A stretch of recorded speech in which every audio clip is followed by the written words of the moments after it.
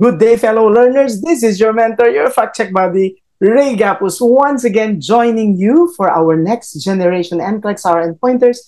This time around, we're going to talk about our pointers set number 35. And without further ado, let's begin. Now, the first question that we have to ask ourselves when we're preparing for the next generation NCLEX would be, how do I study to pass the test? Now, remember that the test is very dynamic. It's constantly changing. You cannot predict what's going to come out if you just study on your own. You have to have a mentor who will help you navigate through the different concepts and filter those things that would just waste your time.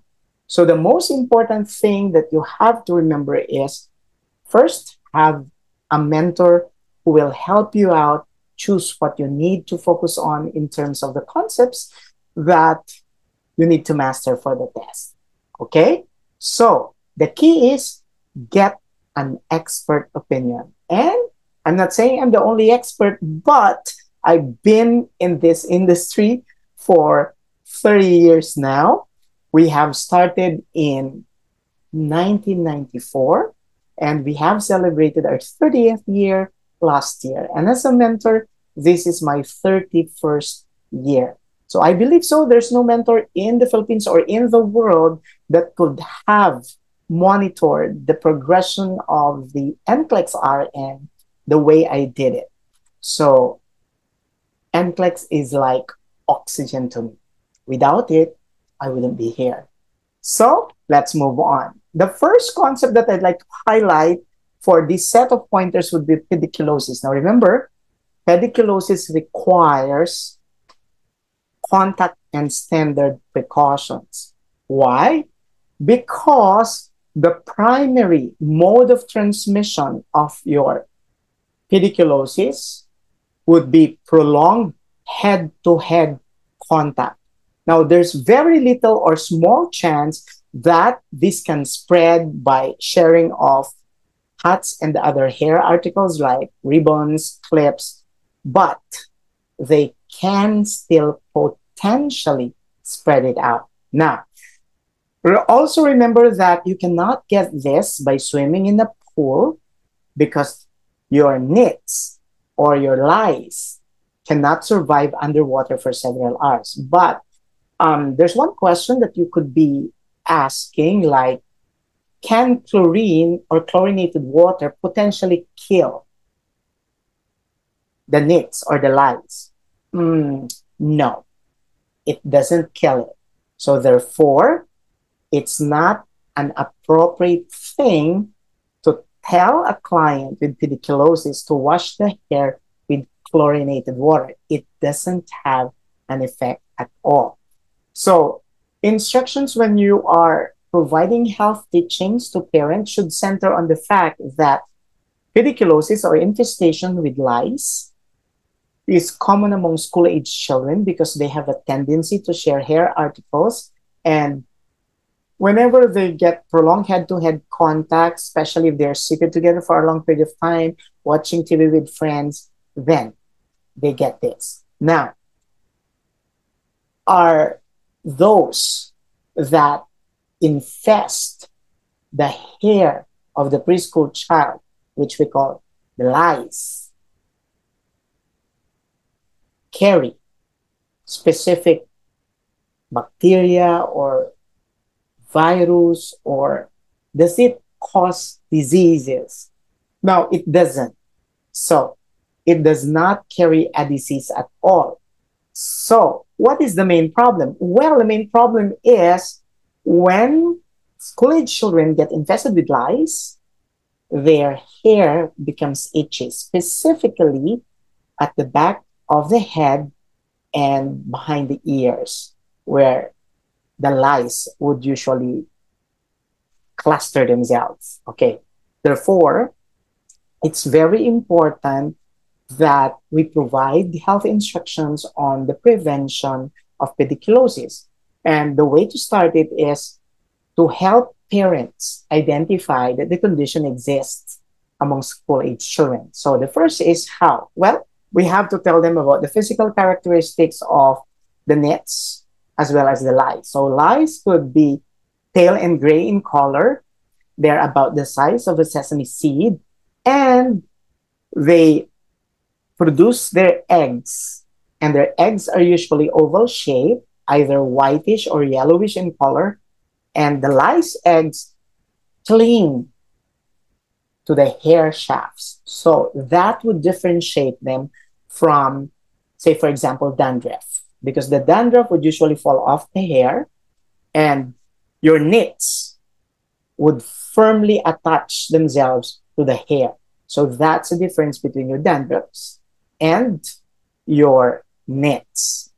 Now, another key thing that you have to tell parents to be aware of is that um, your lice would primarily be transferred from one kid to the other because it crawls.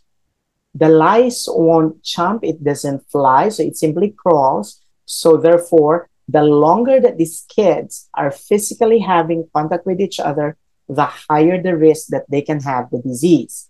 Now, how can parents potentially check if their children are having infestation with lice. Is it appropriate thing to use light as they try to look for the lice in the nits by um, looking at the hair shafts? Well, we have to remember the fact that your lice would usually avoid light and they move quickly. So therefore, it is best to just check on the hair shafts with the naked eye, not necessarily using artificial lights. Okay. And then you can actually implement the comb out method. Let's say the comb out method. Well, we use a um, very, very um, fine tooth comb. Okay. But first, we tell the child to wash their hair and then use the fine tooth comb all over. Okay the area. And then after that, wipe the comb on wet paper and then examine if there are lice and nits okay, that were taken um, with, with the process. And then you have to repeatedly do this. Okay. So what's important, therefore, in terms of discharge instruction for clients with pediculosis is all household contacts should be checked and cured of the condition, and uh, treatment would involve um, the use of pediculicide, like for example, uh, ivermectin lotion, which would just require a one-time application. Okay, uh, you have to leave it in place for 10 minutes, and then after that, okay, you can wash it with water, but don't apply shampoo for one to two days thereafter. Or they can use your malathion or permethrin lotion. Now, for these two, um, you need to apply twice, at least a week interval, because they these um, lotions are neurotoxic. So there has to be a week interval in between the application. The first application would be um, the first time that you found out that the patient had pediculosis, and the second time would be a week after. Now, there's one safety precaution though that you have to remember for your malathion. It's flammable, so it's very very important to mention that to parents. Okay, so, well, before we proceed any further, first and foremost, I'd like to say congratulations to one of our pastors from Bicol University who passed the Texas Board of Nursing last November 20, November 10, 2023. So congratulations. And here's what Ms. Laura Bolseco, USRN, has to share with us. So as a Agapos baby since my CGFNS days way back in 2008, passed the exam too, but the severe retrogression halted my plans. Early this year, I signed up with an agency and I was elated when they told me that Ray A. Agapos review system will be coaching us. So Ray is a genius and his trilogy of books are amazingly concise and organized. I utilize the Ray A. Agapos review system core shell. That's one of the most important components of one's recipe to pass the NGN, the Ray A. Gapuz system core shell, which are um, being updated on a monthly basis. It's it's unlike the apps that you have on the commercial market. So she attended two comprehensive review. You can do that. You can even attend 10 if you want, because with no additional cost, we're giving it to you unlimited. And we have updated concepts and slides every month and two quick fix sessions. Once again, that's unlimited. I also had other international Q-banks for CATs and I cross-reference everything to his books. Thank you, Gapuz family. Dios Mabalos. Once again, that's Laura Bolseco USRN. Okay, now the next thing that I'd like to talk about is the ethical concept of fidelity. Now, in simple terms, it simply means keeping our promises. So, in other words, when we keep our word, when we keep our promises to our patients, like if we tell our patients that we're going to come back in 30 minutes, and then we came back after 30 minutes, that is fidelity. Now, if, what if, if if you got tied up and you're unable to attend to the patient, come back after three minutes? Well, the most um, acceptable thing to do is to delegate somebody else to see the patient and mention to the patient that you got tied up with other tasks that need your attention. That is still fidelity because you're following your patient's expectations. Okay, we also would like to congratulate, well, we have a lot of passers worldwide from more than 30 countries around the world. So we have a 60 year old who passed at the age of, okay, who, who passed the test at the age of 60. That's Jane Geneo Serrano. Okay. And we also have, well, one from St. Louis University, all these people who are passing the test through our system. So I believe the next layout will be for you. So stick around. And of course, let's move on to the concept of advance directive. Well, this is also known as your living will. Okay. So it's a legal document that communicates a patient's wishes about healthcare decisions in the event that the patient becomes incapacitated. The key word there is incapacitated. What does that mean? Well, the patient may no longer be able to make sound decision, just like in the case of a patient with hepatic encephalopathy. Once the ammonia has already accumulated and has greatly affected the brain of the patient. So the level of consciousness deteriorates. And so that's when the provisions of the advance directive would take effect. Ma.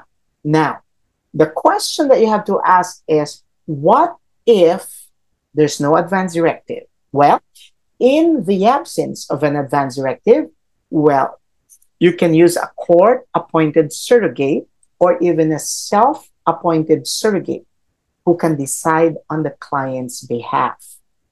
However, okay, this appointed surrogates should um, have the durable power of attorney for healthcare, which simply means that they are given the authority to make the decision in the event that the patient is unable to do so because of advancement of their pathological conditions. Now, how do we ensure that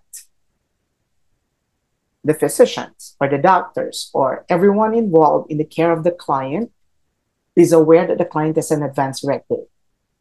Ideally, the advance directive should be a copy of it should be given to every doctor attending to the patient and should be attached to the permanent medical records of the patient. Okay? You can attach the advance directive or the healthcare power of attorney. Now, what about if the patient utilize an app to create the advance directive? Well, that is acceptable. So that doesn't mean that it is of lesser significance than one that is written by the client himself or something that's holographic in nature. Okay? So the second question that we need to ask ourselves is what are the things beyond reviewing concepts that we need to be familiar with in order to pass next generation NCLEX? Well, an important aspect of taking the test is learning how to navigate technology. And studying with technology is a process. It's not a one time thing. It's not as if you took a sample test and you learned how to navigate it and that's it. No. Preparing for the test is a process and utilizing the appropriate tools is the one of the most important decisions that you have to make. So let me share with you what Ali Jane has shared. Here's an English translation. It's a comprehensive review that is the best, sir. It's true. If you know the concept, even if the concepts are reversed and whatever question they ask, you will get the answer. So the comprehensive review is being offered at the Ray Gapuz system on a monthly basis. We do it live. Okay. We do it live. You can interact with us, your mentors. We don't do a videotape.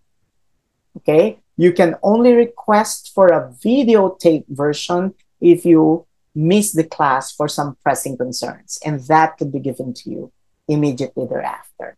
Okay. This is um, the uh, dashboard that shows you the interface of our core shells. You have all the subjects from safety and infection control, basic care and comfort, health promotion and maintenance, management of care, physiological adaptation one, two, three, reduction of risk potential, and psychosocial integrity. You name it, we have it. And we have our own version of QBank and practice tests, both standalone, multiple choice questions, and the next gen questions.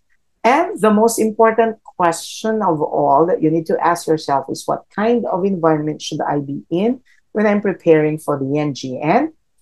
You have to be in a conducive environment that will help you focus. And here at the Ray Gapuz system, we keep our classes in a very, very convenient environment. We're the only one with an NGN simulation room that you don't see anywhere. So this is our NGN simulation room. That's the topmost picture. And the bottom picture is an example of the class we're conducting face-to-face. If you want a full face-to-face class, please do join me in our bootcamp. And my, may I invite you if you want to join the most flexible test prep class for the NCLEX RN, your choice of live face-to-face, live virtual class, and on-demand unlimited video recorded lessons our fee starts at 3,499, including QBanks and three books, plus NGN strategies and sample questions by me. So this is actually our quick fix session. The next one would come in on a monthly basis. So keep watch of our schedules. So thank you so much. Once again, this is your mentor, your fact check buddy Ray Gapuz, joining you for session number 35. See ya.